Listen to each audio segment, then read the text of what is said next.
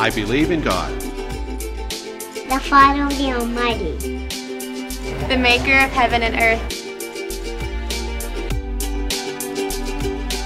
and Jesus Christ, his only Son, our Lord, was conceived by the power of the Holy Spirit, born of the Virgin Mary, suffered under Pontius Pilate, was crucified, died, and was buried.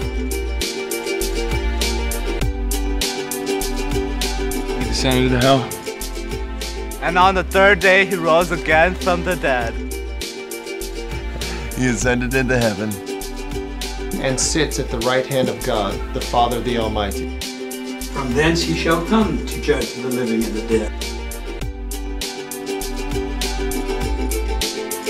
I believe in the Holy Spirit, the Holy Catholic Church, the, the communion of saints, the forgiveness of sins,